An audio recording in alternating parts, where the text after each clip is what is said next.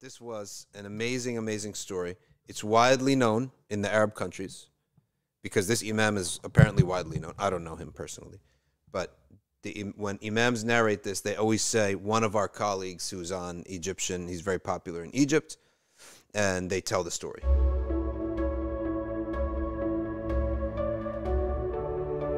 There was a man, an imam in Egypt. He's a very popular imam. And he privately told this story to people that he had a flight uh, at uh, very early in the morning, 6 a.m. flight, which means he got to be in the airport um, around that time, a little bit before 6 a.m. Okay. So he he's far away.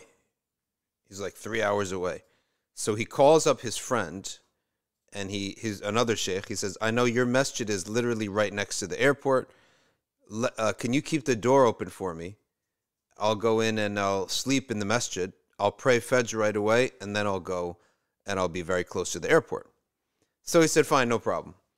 So he tells the people, "Leave the door open for the sheikh and leave a light on." So most masajid in Egypt they close after Isha.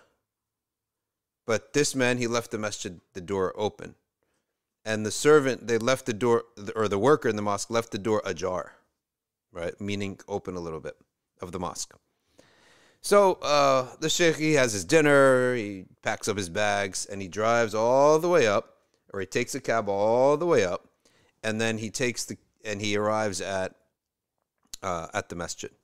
When he goes to the masjid all the lights are off except for one light in the front of the mosque. And he puts his bags down and he hears like weeping, crying. And then he goes up and he sees a regular man sitting right in front of the mihrab saying, Oh Allah, I don't have anybody else. The operation's tomorrow. I need this money. I have nothing. And he's crying and crying and crying and he's making dua and he's sometimes lifting his hands up like this and sometimes crying and, and, and talking in common Egyptian language, saying, uh, There's nobody else. My mother didn't have anything. My brothers don't have anything. Nobody wants to lend me anything. And my wife has to do this surgery. And he's crying and he's making this dua. Then he hears the Imam come in. So he stops and he gets up to leave. Right? And the Imam, he says, What is this dua that you're praying? Subhanallah, you like you broke my heart just hearing you. And he's weeping. So the man, he cleans his face. He's he's he's a like an adult. Like he's not some youth. He's an adult, and uh, he's an older man. And he says, uh, "My wife has a surgery tomorrow. It's a necessary surgery. We keep delaying it because we don't have the money." And I went. I spent all night going to look out, tr- trying to get loans from everybody, trying to patch together five thousand from you, two thousand from you. Nobody will give me a loan because his job isn't really strong enough they don't think they're going to get paid back. Nobody would give him a loan. He said, then on the way home, I saw the masjid open, the door of the mosque. I said, okay, maybe I'm, this is for me to ask Allah subhanahu wa ta'ala. So I came in and I began to ask my Lord. He said, how much do you need? So the man says, I need 15,400 pounds. 15,400 pounds. So he said, Well, I don't have that kind of money, but I will leave you to go back to the one who is going to answer you. So the man goes back and he spends the rest of the night all in dua until Fajr, and the Imam sleeps on the side. When everyone starts coming in for Salat al Fajr and the Adhan goes off and the Sheikh of the mosque comes in, he insists that uh, his guests lead the prayer. So he leads the prayer. Now in this in this masjid, the prayer is actually uh, there's a little loudspeaker, so it, the apartment building next door can all hear the prayer. And he's a famous imam. So he's praying. And he, he prays a long prayer because Fajr should be a pretty long prayer to make sure that people could come down. He turns around after the salah and he sees a man get up right away and start a- approaching him. That man looks like a very rich guy, like with a scarf, polished, really clean looking guy. And he's smiling and he's so happy. He's like, I watch you every day on TV and we listen to your Quran, and I couldn't believe that uh, you're reciting in our masjid. He said, Yeah, it was a coincidence that, subhanAllah, that uh, I had to take an airport, uh, a flight, and this masjid is right next to the airport, so I spent the night here in the masjid, and he made me pray, so that's why I'm here. He then says that, like, what what can I do for you, right? And he said he just talks about himself. I own factories. Anything you need, you have any, and you know most mashayikh they have these initiatives. They got initiative. They feed the poor. They have students. He said, whatever you need. Your students need money. Your institution needs money. You just tell me what you need. So he said, "No, everything's good, alhamdulillah. But thank you so much, and and you know we keep, we'll keep in touch." As the man is leaving, he remembers the other man. He said, "Oh wait, hold on, hold on a second. He said, uh, "I do have a need for you. There is somebody. I came today. I found him praying, weep, crying his eyes out. He needs money." He said, "Okay, well, Subhanallah, my wife just today, as I was coming down, she had." Uh, uh, uh compiled the zakah and she said, unload the zakah because we don't want the zakah in our house. Unload it all today. So I have a bag of zakah. He said, okay, good. How much is it?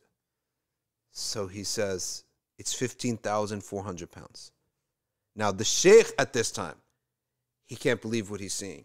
And he, his eyes start to well up and he starts to just, he's in shock. He calls, he looks for the man. He's like, oh, I hope the man didn't leave. He finally finds the poor man. He says, Come, come, quick. And then he says, in front of the rich man, he says to the poor man, Tell me, uh, what happened tonight? He said, Well, as you know, I was looking for these loans. I couldn't get a loan. My wife's surgery is today at 9 a.m.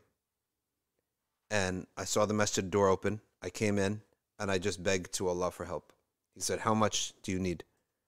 He said, As I told you, 15,400 pounds. Now the rich man began to, to weep. He couldn't believe what he's hearing right? And he's like, this zakah had been piling up because I wanted to give it to one person who was in dire need. Allah's my witness. Every he says, every year we give the zakat out as it comes in, like whatever money we just give out envelopes to the people downstairs. And he said, this time around, I wanted to give out the zakah uh, to one person who was in dire need. So I kept compiling it up in, in, in a drawer. And this time around, this morning, my wife said, "If you're gonna go out, take this money with you. I don't want this much money in the house as zakah. It's it's not. It has to be given out." So she made me take it today. And I usually he just like I usually don't pray in the masjid, but when I heard your recitation, I wanted to come and meet you myself. That's why I'm here. So he said, Subhanallah al this man, Allah has driven three people. He drove him, the Imam himself, made him to come to the mosque and spend the night there. The rich man, to hear the recitation, come down to the mosque. And the wife of the rich man, to, to something moved inside of her that she does not want the zakat anymore. Right? She doesn't want the zakat in the house anymore. Unload it today. All three of them were crying, right? And they couldn't believe what they were seeing. They're seeing the ijabah of Allah right in front of them. And now the entire masjid is watching at this point. And the poor man, he just breaks out and he starts saying, My Lord, I love you. I love you. And he starts screaming. He has the money in his hand now. He's like, I love you. Uh, and he starts, he's losing his mind. But that's what it's like when Allah Ta'ala answers somebody. It's literally, people say, why don't we see miracles? We do all, all the time, right? This stuff is happens all the time if you got your eyes open and you're e- either yourself or in a person in dua you're a person of dua, or you know people who are people of dua. And when we say dua, it has to be, there is really no difference between emotion. Spirituality and emotion cannot be separated. You could be an emotional person, but not, it has nothing to do with spirituality or deen. But you cannot possibly be a spiritual person and have nothing to do with emotion. That's the difference. You could be an emotional person, has nothing to do with with with Islam or Deen. But you the other way can't be. And the stronger the emotion in the dua, meaning the desperation, the need, the desire, and the brokenness, the faster the ijabah. And I've heard some of the awliya say one tear does the job with Allah subhanahu That's His mercy. His compassion is that one tear will do the job.